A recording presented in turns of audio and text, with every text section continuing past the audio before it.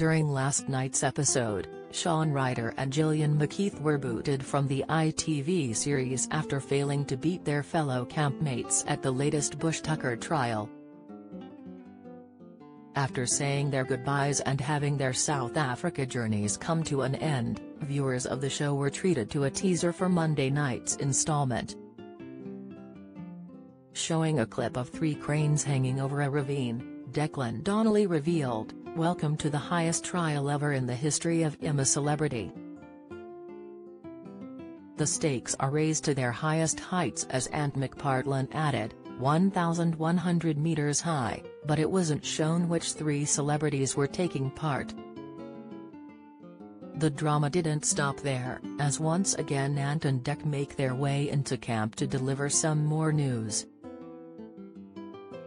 Dec, unfortunately, explained, for one of you this will be your last night in camp, who that is, is up to you.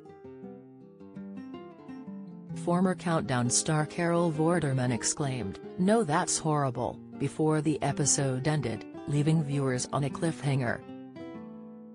Evicted campmates Shaun and Gillian went head-to-head -head against co-stars Andy Whyment, Jordan Banjo, Phil Tufnell, and Georgia Toffolo. Don't miss. Carol Vorderman's appearance leaves I'm a Celebrity viewers distracted. Latest, GB News Eamonn Holmes launches fresh attack on Meghan Markle, Insight, Emmerdale's Tom King star explains return as fans fear for Belle, watch, the trial consisted of the pairs being tied together with handcuffs and having to remove spanners and wrenches from three boxes to free themselves. Their downfall came when Gillian refused to put her hand in the box which consisted of a group of snakes being unable to get her wrench to free them.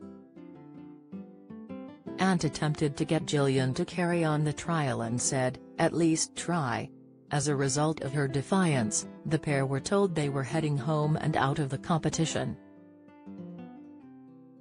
Before they hopped on the boat out of the South African jungle, Gillian said of her time, My time has been fantastic, it's been the best time of my life.